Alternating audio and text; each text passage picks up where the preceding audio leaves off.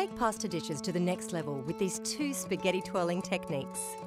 Coat the spaghetti with a few spoonfuls of passata and spread a spoonful in the middle of each plate. Next, use a fork or carving fork and twirl the pasta so it coils around the fork. Hold a large spoon under the fork to stop the pasta sliding off. Place the fork onto the centre of the plate, holding it still as you remove the spoon to leave a twirled nest of pasta. To serve, add torn basil leaves and sprinkle over grated parmesan and chopped parsley. Season and drizzle with olive oil. For an easier alternative, you can use kitchen tongs to create a similar effect. Coat the spaghetti with passata and spread a spoonful on the plate.